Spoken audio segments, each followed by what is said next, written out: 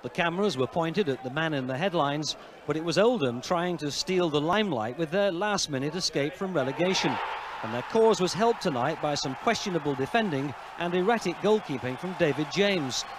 A 20th minute corner met by Darren Beckford at the near post and simply headed through him. Oldham had come out ready to scrap for survival, and with Liverpool not prepared to be rolled over, at times it became something of a dogfight.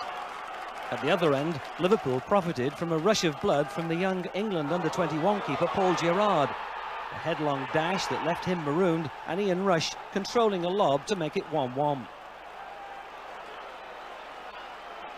Defending at corners, though, was to prove Liverpool's undoing. Mark Wright rescued James when the keeper again failed to dominate his six-yard box. But from the second corner, Ian Olney simply seemed to head the ball out of his hands.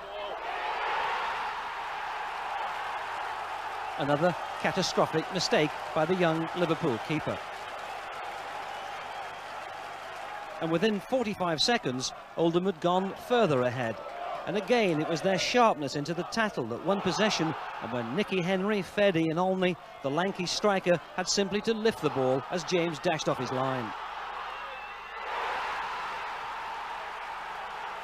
3-1 to Oldham before half-time. A Liverpool goal 15 minutes into the second half, though, made it a nail-biting finish for Oldham, who needed all three points to keep the pressure on Crystal Palace.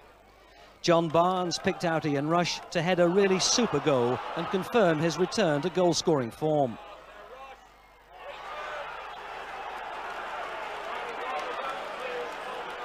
Three-two was the final score, but the night was to end on an unsavoury note involving Liverpool.